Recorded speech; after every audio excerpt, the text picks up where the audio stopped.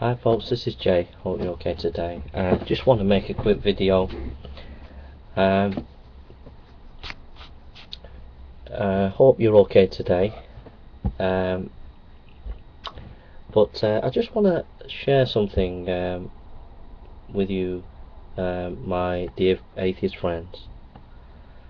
Uh, and that is this. Some of you have, have said uh, about John MacArthur, uh, who's a pastor in America and is a Bible teacher and a preacher. I've known his teaching for about 15 years, and to me, he is a true Christian, and I, I really respect him. And uh, another person that I really, really respect is, um, I can pronounce his name right. I do get got to get uh, names right. Uh, who recently I've come to know is uh, Dr. Jonathan uh, Sarfati, um, who's a, a creationist. Um, let me just tell you something. John MacArthur, okay, Bible believing evangelical. John Piper, Bible believing evangelical. R.C. Sproul, Dr. R.C. Sproul, or Sproul, right? Dr. Al Mohler. Dr. Don Carson. Just take the, type these names in. The people at Gospel Coalition. Alright. These are God's people and I will stand by them. And I'll stand by anybody who preaches the gospel, atheists. I will. So you can say, well, you've been hoodwinked by John MacArthur, you've been hoodwinked by these people. Listen, these people are true, true people. They are true servants of God. Okay? If I was in America and John MacArthur asked me to go to preach with him to some Arab Muslim country. And I went with him and we were preaching in in the city square.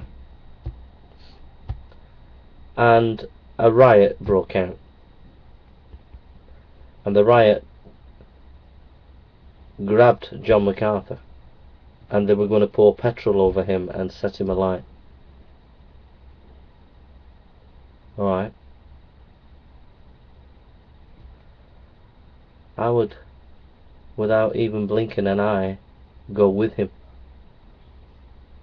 And I would go down with him. And we would burn together. Alright. That's how committed I am to Jesus and committed to my brothers and sisters in Christ, whether it be Shock of God, whether it be um, Creation International, whether it be John MacArthur at Grace to You, whether it be Southern Baptist Theological Seminary, whether it be Covenant Theological Seminary, whether it be Reformed Theological Seminary, whether it be Westminster Theological Seminary, whether it be London Theological Seminary, whether it be the Tabernacle in London with Dr. Masters, whoever you are, wherever you are, if you are proclaiming Jesus Christ, you are my brother and sister, and I will stand with you, and we will fight and serve the Lord together. Atheist, listen to me. This is the truth. Jesus Christ is the truth. He says, I am the way, the truth, and the life. No one can come to the Father but through me. He is the truth, atheist. I don't want to bash you. I don't want to attack you. I just want to tell you this. Jesus loves you. Jesus died for you.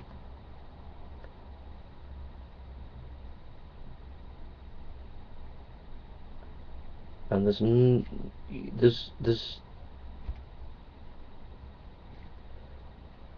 Jesus. It's Jesus, my dear friend. It's Jesus. Come to Jesus.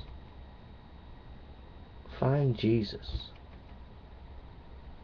All the hang-ups that you've got about religion are hang-ups about religion. They're not hang-ups about Christ. Come to Him. Taste and see that the Lord is good.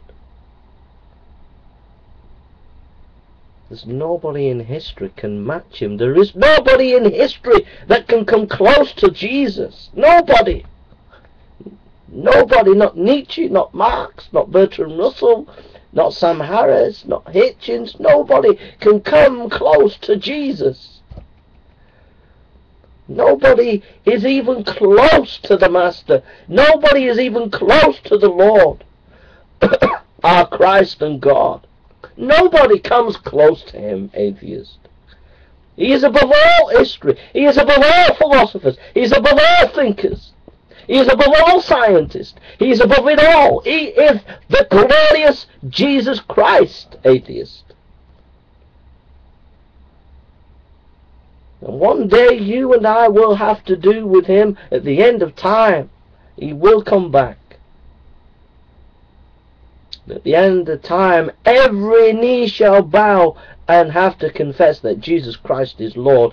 Every atheist will have to bow the knee to Jesus Christ and admit that he is Lord. You will do it. You will be made to do it. You will be made to bow your knee before Jesus Christ and confess him as Lord. And if you've not trusted him, you will be his enemy forever. But if you have trusted him, you will be his child forever. But know this, that he is the sovereign of all history, the sovereign of the universe, the sovereign of all things, and he is the one that you need to have to do with atheists.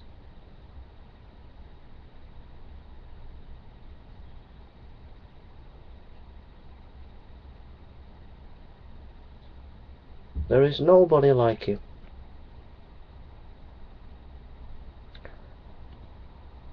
There's nobody like you. So when you've got a saviour like that, atheist, and a Lord such as great, great as that, then I'm afraid that your little movement, and I know you don't like it to be called a movement for your regard yourselves as free-thinking individuals, I understand that. But your little movement's nothing compared to the majesty of Christ. And if you think that you can destroy Christianity in the West, eh, you're completely and utterly deluded because you're not on the throne of history. Jesus is on the throne of history, atheist. Dawkins isn't on the throne of history. Jesus is on the throne of history. Alright? He is the one with all power. He is the one that is gloriously shines above all things. So what I'm saying, atheist, this Lord and Saviour is worth dying for is worth laying your life down for. Is worth uh, giving everything for because he gave everything for us. And I'm going for this Lord, atheist. I'm going for my Saviour, atheist. I'm going for Jesus, atheist. And I'm standing with my brothers and sisters. So if any atheist, dear atheist, says, Jay, You've been hoodwinked by John MacArthur. Jay, why are you standing with them? Come and stand with us. No! Never!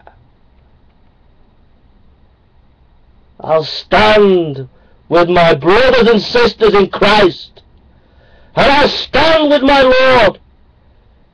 Jesus Christ, my King. And I'll preach this word it is the word of God, atheist. It is the mighty word of God. It proclaims Christ. The prophecies of Christ, his virgin birth was prophesied. Oh, don't get onto the Hebrew there, because you'll get panned if you do. The prophecies of Christ in the Old Testament, proclaiming him, the majesty of the life of Christ in the Gospels. The glorious Apostle Paul as he preached the gospel and was was persecuted here, there and everywhere, but he proclaimed the gospel. A small minority of individuals who had no resources changed the whole ancient world. Why? Because Christ died and he rose and he ascended into heaven. And he changed men and women and he revolutionized people's lives. He gave slaves a new hope, a new vision, a new life. He made masters become loving. He purified the ancient world from sexual immorality. His name was is Jesus, the Lord of Lords, atheist.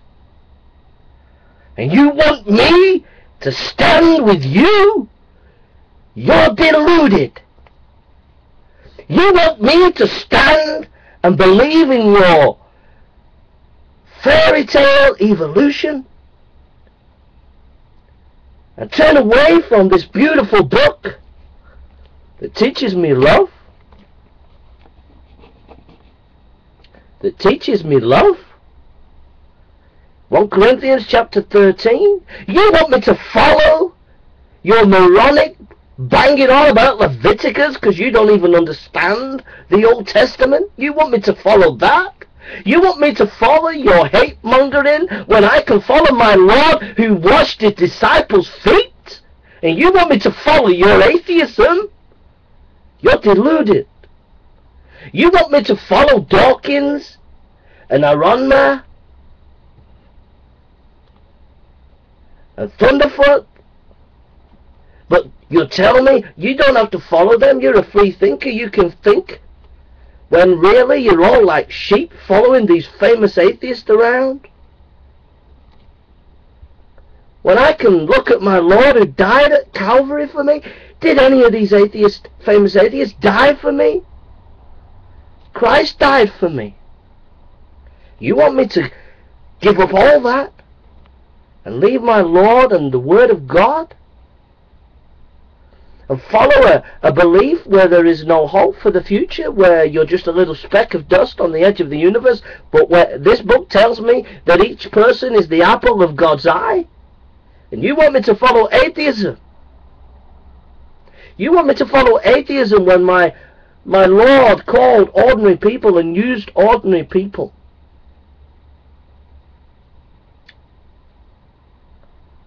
And raises up ordinary people. You want me to leave this that helps me to think about history, to think about science, to think about philosophy, and you want me to leave this, this book that helps me to think? You want me to leave this? That inspired the martyrs, inspired Latimer and Ridley and William Tyndale to die for their faith, and you want me to give up this?